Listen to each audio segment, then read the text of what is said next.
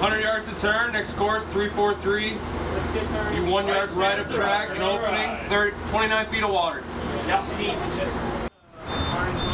Right 10 degree rudder. Center right. track and the dotted lines. Right 10 degrees. If we get outside this cross track limit, we're probably going to